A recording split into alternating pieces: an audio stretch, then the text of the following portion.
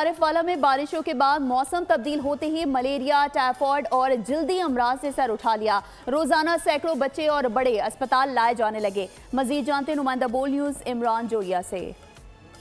मौसमी तब्दीली के बाद आरीवाला में टाइफाइड, कालरा, मलेरिया और जल्दी अमराज के मरीज़ों में इजाफा हो गया है। जराए के मुताबिक बच्चे और बड़े सैकड़ों की तादाद में रोज़ाना सरकारी हस्पताल का रुख कर रहे हैं।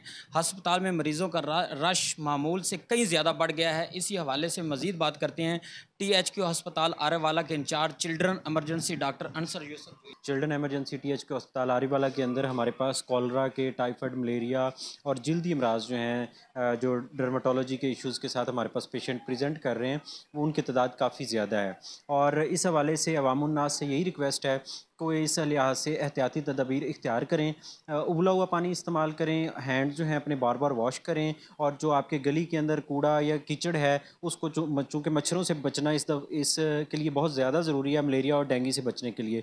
जी देखें आपने डॉक्टर अनसर यूसफ जोये की बात सुनी तो उन्होंने शहरीों को हदायत की है कि इन अमराज से बचने के लिए सख्त, सख्ती से हिफाजती तदाबीर पर अमल करें तो यकीन इन बीमारियों से बचा जा सकता है। जी। सब्सक्राइब करें और बेल दबाएँ ताकि कोई खबर रह न जाए।